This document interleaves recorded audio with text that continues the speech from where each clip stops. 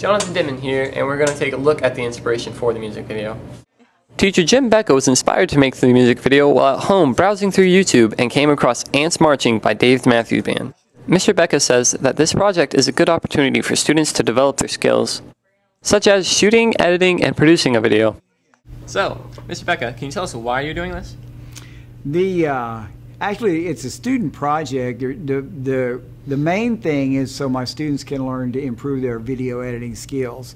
But it's more than that too. There's an there's uh, they're learning about what a metaphor is, and that's it's uh, it's in this case it's a music video about life and how you can often overlook the things in life by getting caught up in just doing daily activities.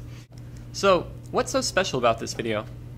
Well, it was the original video by Dave Matthews was shot in New York City, and um, and what we're going to do is give it a New Caney type slant.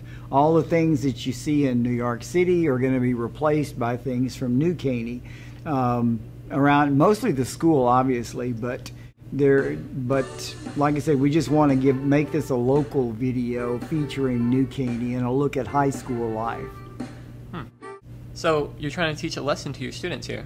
Yeah, I, it's it's really important. Um, personally, I think it's it's everyone should understand that there are more important things to life than just the daily activities we become involved in. You come to school, you go to class, you build relationships, but life is really much more important than the superficial things.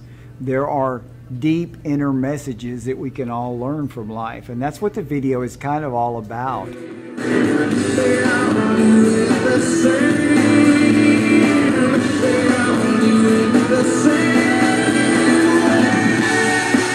With a look at the upcoming New Caney High School video production, I'm Jonathan Dittman.